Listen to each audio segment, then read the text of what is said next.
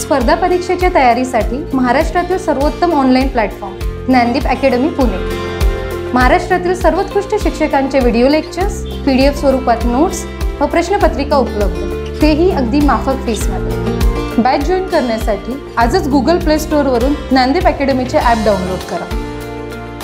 अधिक माहितीसाठी संपर्क करा पंच्याण्णव अकरा अठ्ठावीस शून्य चार सहा पाच. नमस्कार. आपल्या सर्वांचं ज्ञानदीप अकॅडमीमध्ये स्वागत. मी अमोल भामरे. आपला जो काही संयुक्त पूर्व परीक्षेचा गट ब एक्झामचा जो काही याचा प्रिलिमचा पेपर झाला तर त्या प्रिलिमच्या पेपर्समधला जॉग्रफीच्या डिस्कशन्समध्ये आपण या ठिकाणी भेटतो जॉग्रफीच्या डिस्कशन्समध्ये साधारणपणे आजच्या पेपरमध्ये जे काही प्रश्न विचारण्यात आलेले होते त्याचे एक्सपेक्टेड आन्सर्स काय असतील तर त्याच्यावरती आपण चर्चा करणार आहोत. आय होप जॉग्रफीमध्ये जर तुम्ही बघितलेलं असेल तर क्वेश्चन्स इझी आणि मॉडरेट लेवलचे होते. एक दोन क्वेश्चन्स तुम्ही थोडंसं बघितले तर तो डाटा जो काही विचारलेला आहे तर तो डाटा थोडासा जुना तुम्हाला बघायला मिळेल. अदरवाईज सर्व क्वेश्चन्स इझी होत आहे. सो आपण स्टार्ट करूयात आपल्या सेशन्सला सो यामध्ये जर तुम्ही गेलात तर जॉग्रफीचे जे काही क्वेश्चन्स आहेत तर त्याच्यापासून आपण पुढे जाऊयात. पहिला प्रश्न तुमच्या स्क्रीनवरती आहे या ठिकाणी. सो फर्स्ट क्वेश्चन्स बघा. क्वेश्चन्समध्ये काय विचारलेलं होतं? तर ते पहिल्यांदा विचारत घ्या. भारतातील सर्वात लांब भारतातील सर्वात लांब राष्ट्रीय महामार्ग आहे. या ठिकाणी भारतामधला सर्वात लांब राष्ट्रीय महामार्ग विचारलेला होता. बऱ्याच लोकांनी याच्यामध्ये जात असताना काही लोकांचं नंतर न लक्षात आलं की काय विचारलंय. इथे भारतातला सर्वात मोठा राष्ट्रीय महामार्ग विचारलेला आहे. लक्षात घ्या.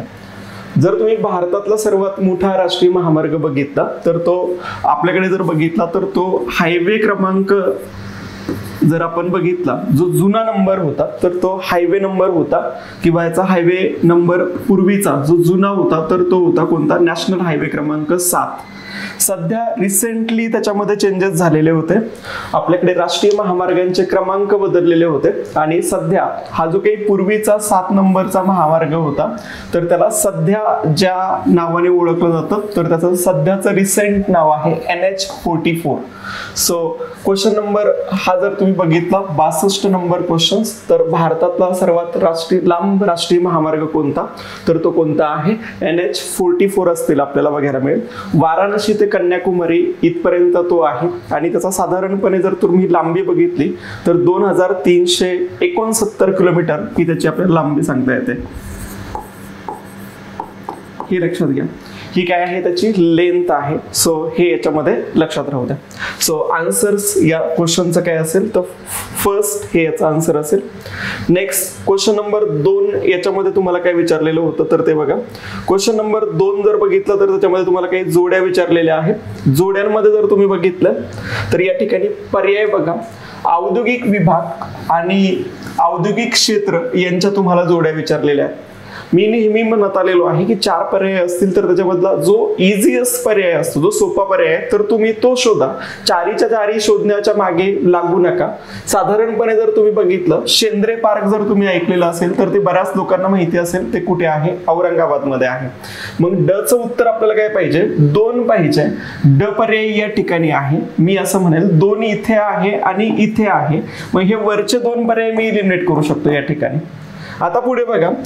औरंगाबाद नंतर नागपूर जर तुम्ही विचारात घेतलं तर नागपूरमध्ये तुम्ही ऐकलेलं असेल बुटीबुरी आहे. ही औद्योगिक वसाहत त्या ठिकाणी आपल्याला बघायला मिळते बुटीबुरी.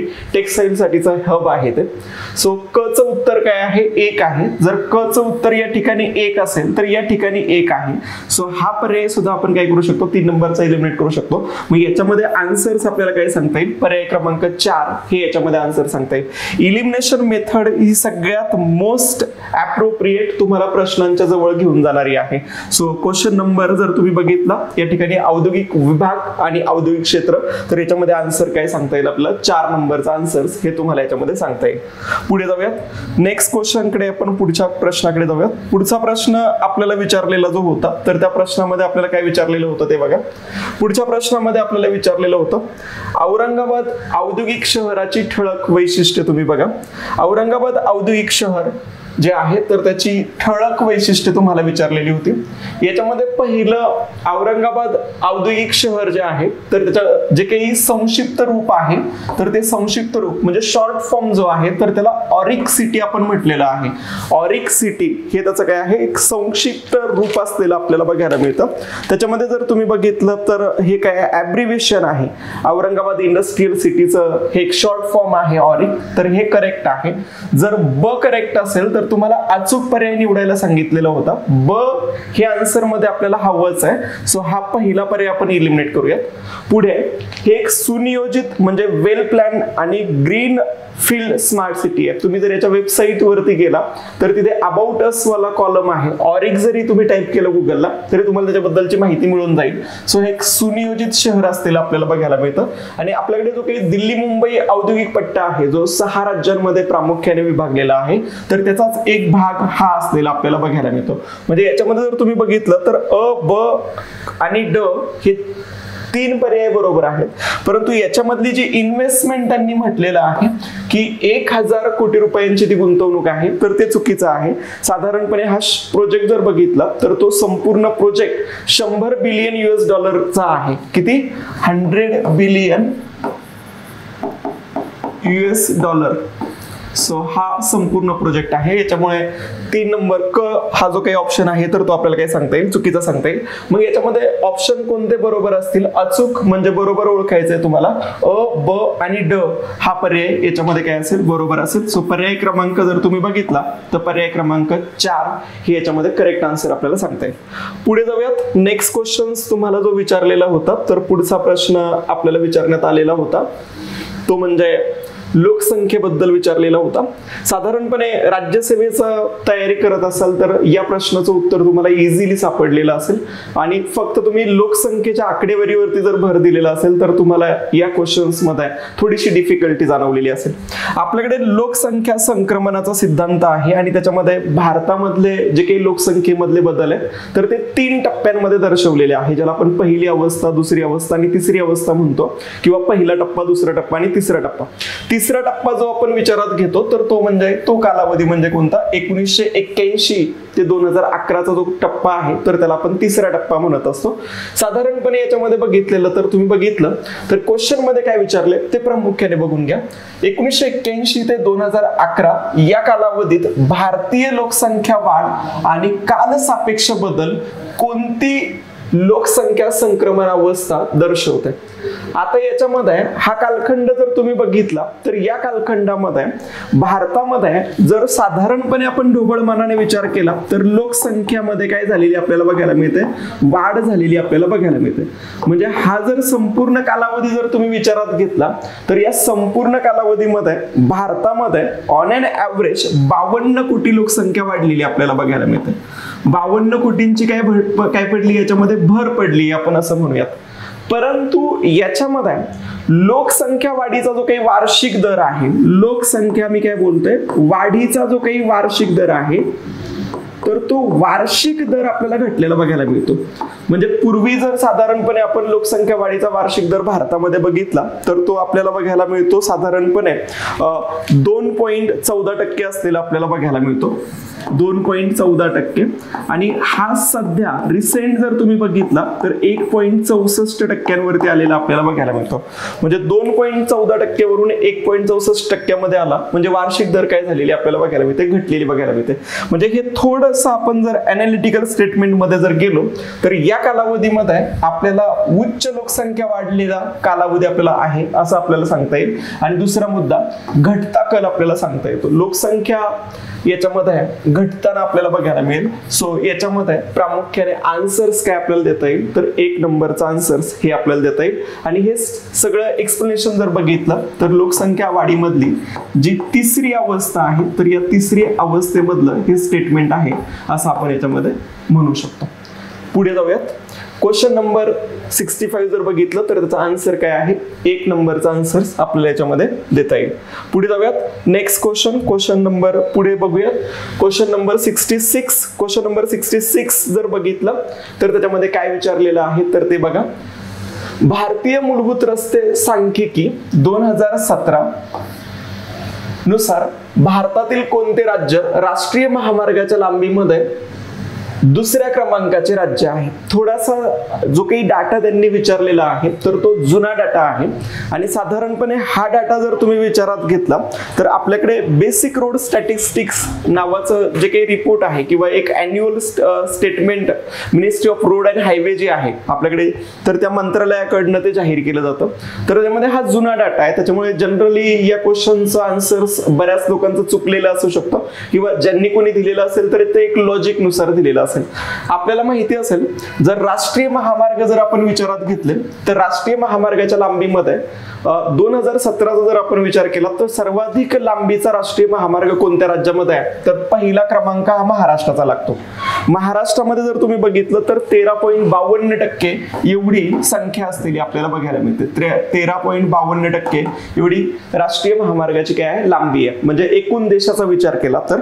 आणि दोन नंबरला जर तुम्ही बघितलं तर आपल्याला सांगता येतं उत्तर प्रदेश. आणि उत्तर प्रदेशमध्ये जर बघितलं तर सात पॉईंट त्रेसष्ट एवढी उत्तर प्रदेशमध्ये असतील आपल्याला बघायला मिळते सात पॉईंट त्रेसष्ट टक्के लांबी सो या ठिकाणी बघायला मिळेल. सो आन्सर्समध्ये आपल्याला विचारलेलं होतं की दुसरा क्रमांक कोणाचा आहे? तर दुसरा क्रमांक जर तुम्ही याच्यामध्ये बघितला तर दुसरा क्रमांक आपल्याला कोणता सांगता येतो? उत्तर प्रदेशचा. सो आन्सर्स काय असेल आपलं? उत्तर प्रदेश असेल. त्याच्यानंतर ना तीन नंबरला जर तुम्ही बघितलं तर राजस्थान आहे आणि चार नंबरला जर तुम्ही बघितलं मध्य प्रदेश आणि पाच नंबरला कर्नाटक. असं तुम्हाला तो क्रम सांगता येईल राष्ट्रीय महामार्गांच्या बाबतीमध्ये. सो आन्सर्स या क्वेश्चनचं काय असेल? तर चार नंबर हे याचं काय असेल? आन्सर असेल. पुढे जाऊयात. नेक्स्ट क्वेश्चन तुम्हाला जो विचारण्यात आलेला होता तर पुढचा प्रश्न आपल्याला विचारलेला होता. त्या प्रश्नामध्ये काय म्हटलंय बघा.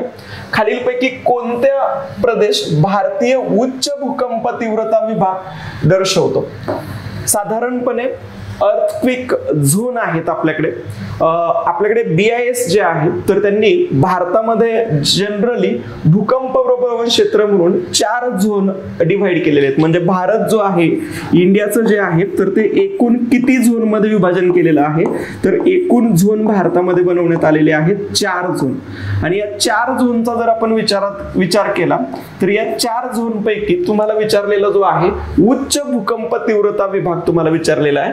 भारतामध्ये जर तुम्ही बघितलं तर उच्च भूकंप तीव्रता विभाग हा हिमालय जो आहे आपल्याकडचा तर हिमालयामध्ये आपल्याला जनरली बघायला मिळतो. याच्यामध्ये जर तुम्ही बघितलं काश्मीर ते आसाम पर्यंतचा हिमालयीन विभाग हे आपल्याला याचा आन्सर देता येतं.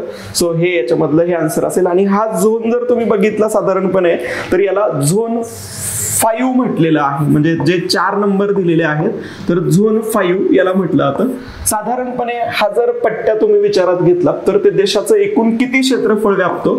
तर ऑन एन ॲव्हरेज पकडायचं तर दहा टक्के क्षेत्रफळ. या भूकंप उच्च भूकंप तीव्रता क्षेत्र असलेलं आपल्याला भारतामध्ये बघायला मिळतं. सो आन्सर नंबर काय सांगता येईल याच्यामध्ये? दोन हे याचा आपल्याला करेक्ट आन्सर आपल्याला देता येतं.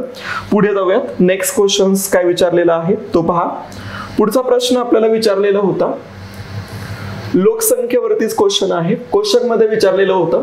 दोन हजार अकराच्या जनगणनेप्रमाणे महाराष्ट्रातील नागरीकरणाबाबत कोणते वाक्य चुकीची आहेत रॉंग स्टेटमेंट तुम्हाला विचारलेली आहेत नागरीकरणाबाबत म्हणजे अर्बनायझेशन जे आहे आपण ज्याला म्हणतो शहरीकरण त्याच्याबद्दल. आणि प्रामुख्याने कुठलं विचारलंय? तर महाराष्ट्रामधलं विचारलंय. पहिलं स्टेटमेंट जर तुम्ही बघितलं तर या पहिल्या स्टेटमेंटमध्ये काय म्हटलंय? नागरी लोकसंख्येची टक्केवारी पंधरा पॉईंट पंचेचाळीस पॉईंट तेवीस टक्के हे चुकीचं आहे. महाराष्ट्रामध्ये नागरी लोकसंख्येची टक्केवारी जी आहे तर ती पंचेचाळीस पॉईंट बावीस टक्के आहे. म्हणजे एकदम डेसिमलमध्ये या ठिकाणी चेंजेस झालेले आहेत. म्हणजे पहिलं स्टेटमेंट काय आपल्याला सांगता येईल? चुकीचं आहे. क्वेश्चन्समध्ये चुकीचं उत्तर तुम्हाला निवडायला सांगितलेलं होतं. मी इथे इलिमिनेशन अप्रोच वापरतो आणि या ठिकाणी सुद्धा इलिमिनेशन अप्रोच वापरतो. मग आता याच्यामध्ये दोन ऑप्शन्स तर माझे गेले.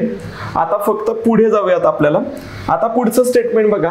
महाराष्ट्राचा नागरी लोकसंख्येत तिसरा क्रमांक आहे. दॅट इज ट्रू आपण जर बघितलं नागरी लोकसंख्येचा विचार केला तमिळनाडू तमिळनाडू नंतर केरळ आणि केरळ नंतर महाराष्ट्र आपल्याला सांगता येतो. सो तिसरा क्रमांक आहे. सो ब काय असेल याच्यामध्ये? बरोबर आहे. जर ब बरोबर असेल तर आपल्याला चुकीचं विधान निवडायचं हे लक्षात राहू द्या. चुकीचं विधान जर निवडायचं असेल तर ब पर्याय पण काय होईल या ठिकाणी? इलिमिनेट होईल. म्हणजे एक नंबरचा पर्याय पण इलिमिनेट झाला. सो या ठिकाणी आन्सर्स आपण काय देऊ शकतो? सो पर्याय क्रमांक तीन हे याचा आपण आन्सर देऊ शकतो. क मध्ये पण जी आकडेवारी तुम्हाला दिलेली आहे ना या ठिकाणची तर ही आकडेवारी चुकीची दिलेली आहे बघा. पाच लाख पाच कोटी आठ लाख सत्तावीस हजार पाचशे असं म्हटलेलं आहे. तर ती ऍक्च्युअल आकडेवारी जर तुम्ही बघितली तर ती आहे पाच कोटी आठ लाख अठरा हजार दोनशे एकोणसाठ. म्हणजे ही एकूण लोकसंख्या नागरी लोकसंख्येचं प्रमाण आहे महाराष्ट्रामधलं. सो हा स्टेटमेंट जर तुम्ही बघितलं तर हे चुकीचं होतं. आणि इथे गडचिरोली पाहिजे होतं. नंदुरबार हे चुकीचं आहे. गडचिरोली त्या ठिकाणी पाहिजे. सो अ ब ह्याच्यामध्ये जर तुम्ही बघितलं सो पर्याय क्रमांक जर तुम्ही सांगितलं तर ऑप्शन जे आपल्याकडे उपलब्ध आहे त्याच्यामध्ये अ आणि क हे आपल्याला काय सांगता येतं? याच्यामध्ये चुकीचा आन्सर्स आपल्याला सांगता येतं. सो नेक्स्ट क्वेश्चन क्वेश्चन पुढचा बघूयात. पुढच्या प्रश्नामध्ये आपल्याला काय विचारलंय ते बघा. पुढचा प्रश्न जर तुम्ही बघितला तर याच्यामध्ये तुम्हाला काय विचारलेलं आहे ते पहा. नेक्स्ट क्वेश्चन्समध्ये तुम्हाला विचारलेलं होतं की महाराष्ट्रातील जलसिंचन योजना व त्यांचे जिल्हे यांच्या योग्य जोड्या ओळखायला सांगितलेल्या आहेत. मी प्रत्येक वेळेला हेच म्हणेल की क्वेश्चन सोडवत असताना चारची चारही ऑप्शन्स बघायचे नाही प्रामुख्याने इलिमिनेशन सगळ्यात इम्पॉर्टंट होतं. ज्यांनी आज इलिमिनेशन पद्धतीने बऱ्यापैकी सॉल्व्ह केलेलं असेल त्यांची बरीचशी उत्तरं तुम्हाला बरोबर आलेली पण बघायला मिळतील. सो थोडंसं बघा. साधारणपणे जर तुम्ही बघितलं कन्हेर हा जो काही प्रकल्प आहे जलसिंचन प्रकल्प हे तुम्हाला माहिती असेल कृष्णा नदी खोरं जे आहे तर त्याच्यामध्ये आहे. मग याच्यामध्ये कन्हेर जर बघितलं तर ते कुठे आहे? साताऱ्यामध्ये आपल्याला सांगता येईल. म्हणजे अचं उत्तर आपल्याला काय पाहिजे? तीन पाहिजे. अचं उत्तर तीन पाहिजे. इथे आहे इथे आहे. सो दोन पर्याय आपण पहिल्यांदा इलिमिनेट केले. आता बघा दोन पर्याय इलिमिनेट झाल्यानंतर ना पुढे थोडस आपण आता बघूयात. आता याच्यामध्ये जर बघितलं नांदेड तर नांदेडमध्ये तुम्हाला विष्णुपुरी डॅम ऐकलेला असेल तुम्ही. सो क उत्तर काय पाहिजे? दोन पाहिजे. सो क उत्तर दोन एकाच ठिकाणी आहे. सो आन्सर जर बघितलं याच्यामध्ये तो पर्याय क्रमांक काय आपल्याला सांगता येईल? दोन. हा याच्यामध्ये करेक्ट आपल्याला सांगता येतो. सो बाकीचे तुम्ही मग जोड्या लावू शकता. ब म्हणजे नाशिकमध्ये कोणता आहे आपल्याला? तर नाशिकमध्ये आहे मुनके. आणि यवतमाळ जर तुम्ही विचारात घेतला तर तिथे कोणता आहे? बेंबला जलसिंचन प्रकल्प आपल्याला त्या ठिकाणी सांगता येतो. सो आन्सर्स काय आहे या क्वेश्चनचं तर पर्याय क्रमांक दोन ही याच्यामध्ये करेक्ट आन्सर असेल. पुढे जाऊयात. पुढचा प्रश्न आपल्याला जो विचारलेला होता. नेक्स्ट क्वेश्चन यामध्ये बघितला. तर आपल्याला या क्वेश्चन्समध्ये विचारलेलं होतं. भारतातील नैसर्गिक वायू आणि खनिज तेल उत्पादक राज्य आहे.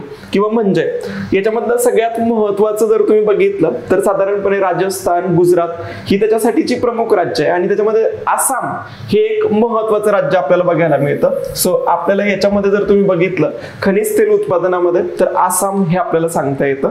सो आन्सर्स आपल्याला काय देता येईल याचं? आसाम हे आपल्याला आन्सर्स याच्यामध्ये देता येईल. पुढे जाऊयात. पुढचा प्रश्न जर तुम्ही बघितला तर नेक्स्ट क्वेश्चन्स बघा. क्वेश्चन्समध्ये तुम्हाला काय विचारलेलं आहे? पुढच्या प्रश्नामध्ये विचारलेलं आहे खालीलपैकी कोणता पर्याय गोदावरी नद्यांच्या उपनद्यांच्या लांबीनुसार चढता क्रम दर्शवतो? हा क्वेश्चन थोडासा डिफिकल्टी लेवलचा आहे. तुम्हाला नद्यांची लांबी सगळ्याच माहिती असायला पाहिजे. म्हणजे एकदम इन डेप्थमध्ये जाऊन विचारलेला आहे. सो काही लोकांचा बरोबर आलेला असेल काहींचा चुकीचाही आलेला असेल. त्याच्यामुळे एक दोन क्वेश्चन्स आपल्याला एकदम डेप्थमध्ये विचारले जातात. त्याच्यामध्ये जास्त काही लोड घेण्यासारखं नाही. परंतु जे इझी क्वेश्चन्स आहेत ते आपले बरोबर आलेले पाहिजेत. एवढं मात्र निश्चित आहे. तुम्ही जर याच्यामध्ये बघितलं तर सगळ्या ज्या काही नद्या दिलेल्या आहेत तर त्याच्यामध्ये बघा प्राणहिता नदी आहे. आणि प्राणहिता नदीचं जर तुम्ही लांबी बघितली साधारणपणे तर ती आपल्याला एकशे वीस किलोमीटर आपल्याला सांगता येते. एकशे वीस किलोमीटर प्राणहिता नदीची लांबी आहे. त्यानंतर जर तुम्ही प्रवरा नदी बघितली अहमदनगर जिल्ह्यामध्ये तुम्हाला बघायला मिळेल साधारणपणे संगमनेर वगैरे त्या भागामध्ये.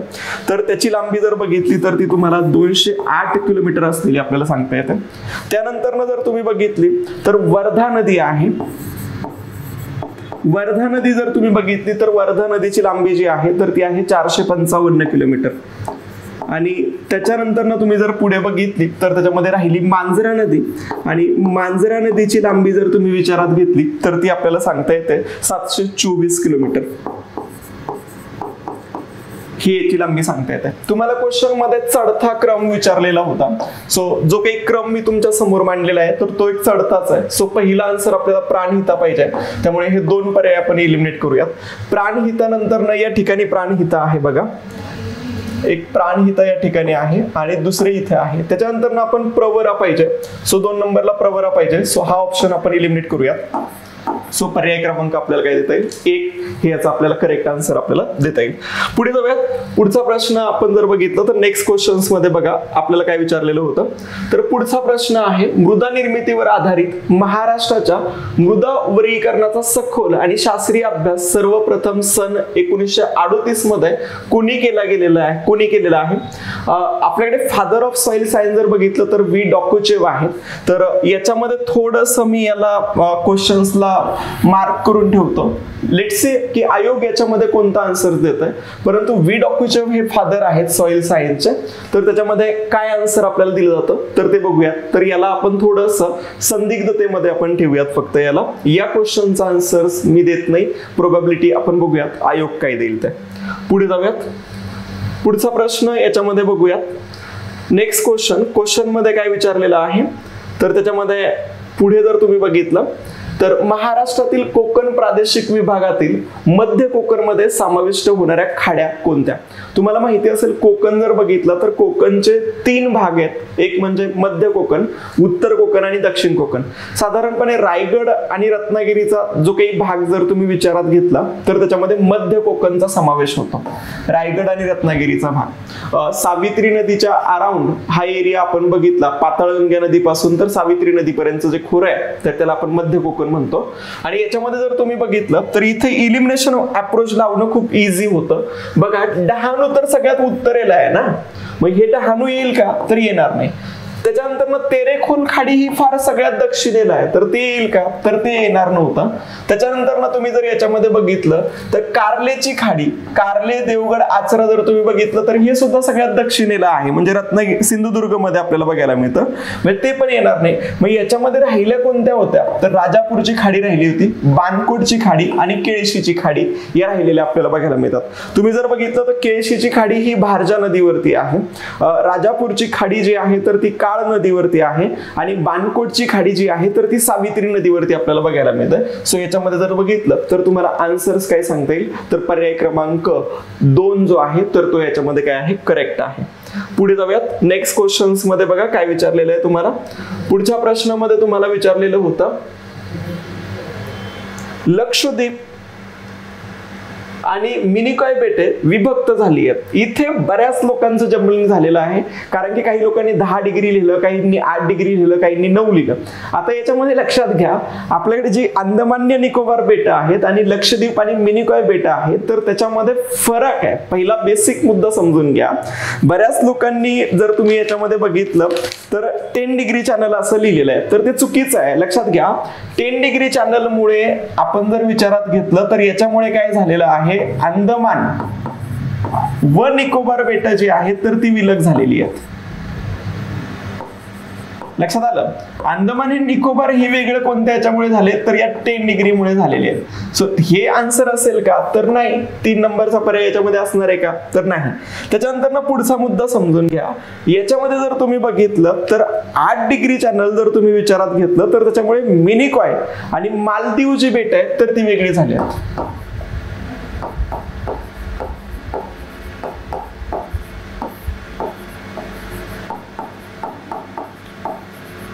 हे काय झालेले ते याच्यामुळे वेगळी झालेली आहेत, आठ डिग्रीमुळे.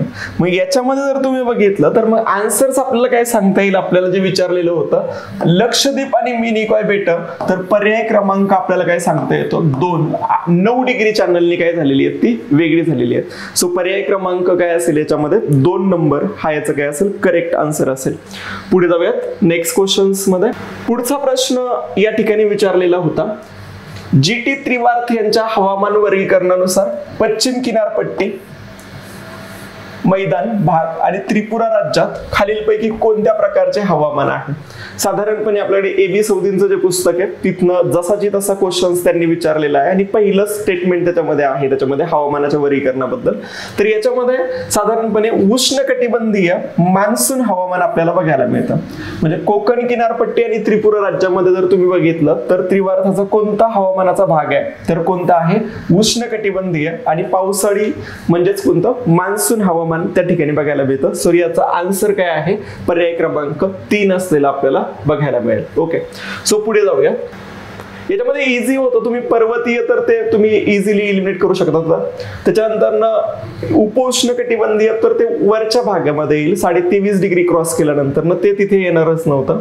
सो राहिलं दोनच एरियामध्ये कन्फ्युजन असायला पाहिजे होतं. उष्ण कटिबंधीय शुष्क हवामान डेझर्टमध्ये आपल्याला बघायला मिळेल कोरडं. आणि या ठिकाणी उष्ण कटिबंधीय पावसाळी मान्सून हवामान हे या ठिकाणी तुम्हाला बघायला मिळू शकतं. सो पर्याय क्रमांक याचं काय सांगता येईल? तीन हे आपल्याला आन्सर्स याच्यामध्ये देता येतं. पुढे जाऊयात. पुढचा क्वेश्चन जर तुम्ही बघितला तर पुढच्या प्रश्नामध्ये काय विचारलेलं आहे ते बघा. महाराष्ट्रातील नैऋत्य मोसमी वाऱ्यापासून मिळणाऱ्या पावसाची टक्केवारी खालीलपैकी किती आहे? आता नैऋत्य मोसमी वारे जो काही पाऊस आपल्याकडे होतो तर तो पाऊस प्रामुख्याने नैऋत्य मान्सून पासूनच आपल्याला मिळतो. जवळपास ही टक्केवारी जर बघितली तर पंच्याऐंशी टक्के आपल्याला सांगता येतं. आणि ईशान्य मोसमी वारे जे आहेत त्याच्यामुळे आपल्याकडे पंधरा टक्के पाऊस होतो. म्हणजे साधारणपणे जर भारताचा नकाशा तुम्ही विचारात घेतला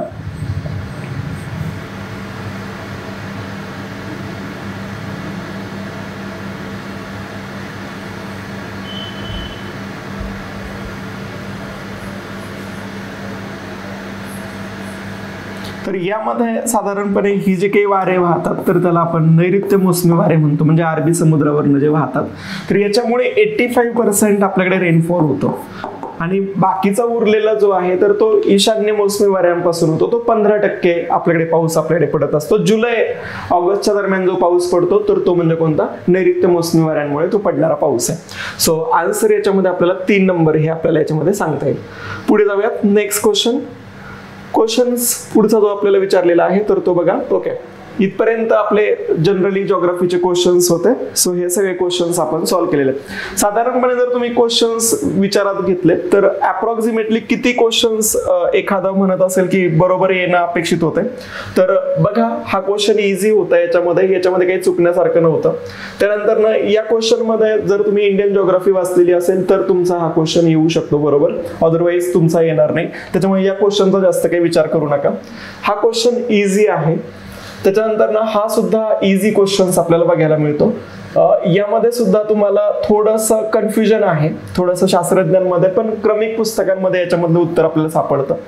हा क्वेश्चन डिफिकल्ट आहे. म्हणजे साधारणपणे जर तुम्ही विचारात घेतलं तर जॉग्राफीवरती जर पंधरा क्वेश्चन्स विचारलेले असतील पंधरा क्वेश्चन्स तर त्या पंधरा क्वेश्चन्स पैकी जास्त डिफिकल्ट लेवलचे क्वेश्चन्स हे दोन क्वेश्चन्स आहेत. जिथे एक्सपेक्टेड नाही आहे अदरवाईज तुम्हाला जॉग्राफीमध्ये ऑन एन ॲव्हरेज जर तुम्ही विचारात घेतलं तर दहा ते बारा मार्क्स मिळणं इझी होतं. आणि क्वेश्चन्समध्ये सगळ्यात महत्त्वाचा पॅटर्न काय होता? की इलिमिनेशन वापरणं खूप गरजेचं होतं. कारण की तुम्ही जर बघितलं तर चारचे चारही ऑप्शन्स हे बुक्समध्ये किंवा रेफरन्स बुक्समध्ये तुम्ही जे काही वाचता तर त्या बुक्समध्ये तरी अवेलेबल नाही आहेत त्याच्यामुळे जेवढं इन्फॉर्मेशन तुमच्याकडे आहे आणि जेवढा प्रेझन्स ऑफ माइंड वापरता येणं गरजेचं होतं. तर तो वापरला असता तर बऱ्यापैकी तुम्हाला याच्यामधले आन्सर्स तुम्हाला याच्यामध्ये मिळवता आली असते. जसं की या जोड्यांमध्ये बघितलं तर तुम्ही जे काही रेफरन्स बुक वापरता तर त्याच्यामध्ये फक्त साताऱ्यामधलं विश साताऱ्यामधलं कणेर डॅम असेल. तुमच्या याच्यामध्ये. आणि जर तुम्ही थोडंफार न्यूज वगैरे वाचलेलं असेल पावसाच्या पावसाच्या कालावधीमध्ये पावसाळ्यामध्ये तर ते विष्णुपुरी डॅम वगैरे त्याच्याबद्दलच्या न्यूज वगैरे येत असतात. तर म्हणजे जेवढी इन्फॉर्मेशन आपल्याकडे होती त्याच्यानुसार आपण ते आन्सर सोडवणं गरजेचं होतं. सो आय होप तुम्हाला हे सर्व जॉग्राफीचं एक्सप्लेनेशन समजलेलं असेल. आपली बॅच आहे ऑनलाईन प्लॅटफॉर्मवरती महाराष्ट्राचा भूगोल म्हणून. साडेसातशे रुपये त्याची फी आहे. तुम्ही ती बॅच सध्या माझी ऑनलाईन स्वरूपामध्ये उपलब्ध आहे. ती बॅच तुम्ही त्या ठिकाणी जॉईन करू शकता. महाराष्ट्राचा भूगोल आणि भारताचा भूगोल जर तुम्ही बघितला तर याच्यानंतर ना तुमची फॉरेस्टची एक्झाम आहे. तर त्या एक्झामसाठी सुद्धा तुम्हाला तो बॅच तुम्हाला काय असेल उपयोगी पडेल. सो जर तुम्ही ऑनलाईन प्रिपेअर करत असाल गावाकडनं वगैरे तर तुम्ही ती बॅच काय करू शकता? एनरोल करू शकता. So I hope thank you have a great day स्पर्धा परीक्षेच्या तयारीसाठी महाराष्ट्रातील सर्वोत्तम online platform Dnyandeep academy Pune.